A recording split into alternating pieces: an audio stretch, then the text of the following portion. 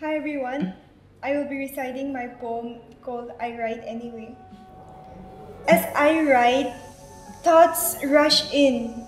Is this right? I'm afraid I sin. I write anyway to women out there. Do not shy away. Voice out what's unfair. She returns home alone that evening. Well, not so alone. In the streets were men standing, and her attempts to escape, oh, forlorn. Religion says a woman should walk under a man's shadow, and he will give her the warmth. But that night, she felt the warmth she did not want. He makes his excuse, he blames her skirts, he blames her clothes.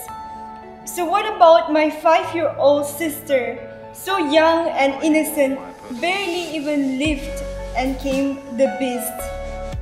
They say respect a woman because she could be someone's sister, mother, or daughter. But come on, respect her simply because she's a human. Someday, I wish to see a sense of freedom in her eyes. Someday, I wish to see women growing at man's pace.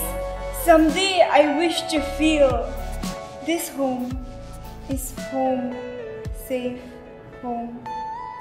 I write anyway to women out there. You are capable, capable of so much, you are unbreakable. So go, take charge. I write anyway to women out there. We'll do much better. We'll build the sky together. There's a fire that grows within. Let the revolution begin. I write anyway to women out there. To those who has broken their bondage. To you, I pay my homage. Thank you.